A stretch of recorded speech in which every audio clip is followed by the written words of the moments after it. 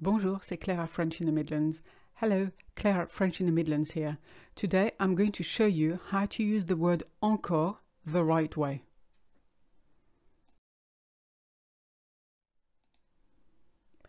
Encore has several meanings, one of them being again. This is the one you know uh, because you use the word encore in English to mean again uh, when you're at the theatre, for instance. It could also mean another, so let's have a look at some examples. Vous allez encore à Venise pour les vacances? Are you going to Venice again for your holiday? Vous allez encore à Venise pour les vacances? Second example. C'est pas possible. J'ai encore perdu mes clés. C'est pas possible. J'ai encore perdu mes clés. I can't believe I've lost my keys again. Literally, I can't believe it. I have lost my keys again. C'est pas possible has this double meaning. It means it's not possible. But when it's um, at the beginning of a sentence, c'est pas possible. It means I can't believe it. Ça, c'est encore un coup de Jean-Pierre. Ça, c'est encore un coup de Jean-Pierre. That's another one of Jean-Pierre's tricks. So in this context, it's not quite again, it's another.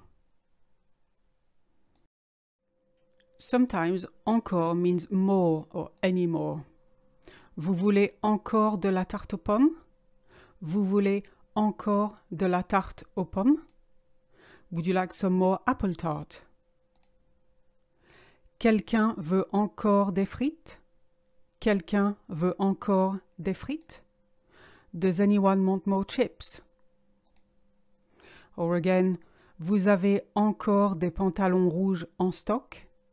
Vous avez encore des pantalons rouges en stock?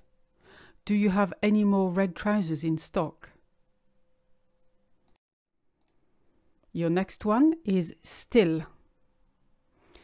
As in, oh là là, il est encore en train de parler? Oh là là, il est encore en train de parler?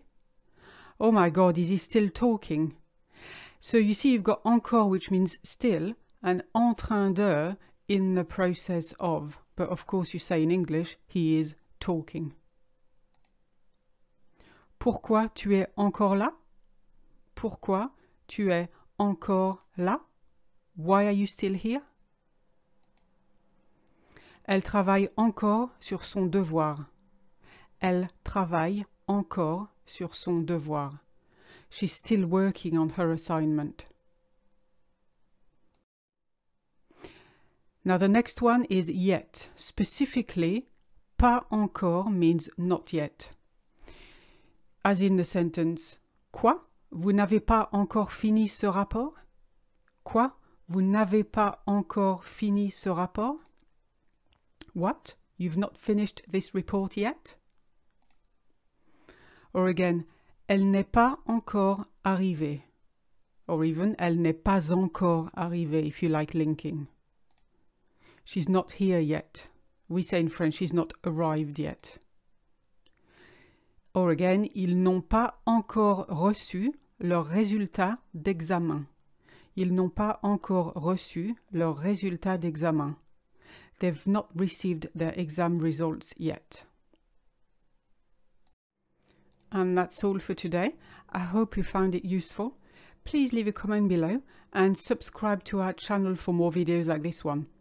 If you're after some video courses and ebooks, check out frenchinthemidlands.com. À bientôt!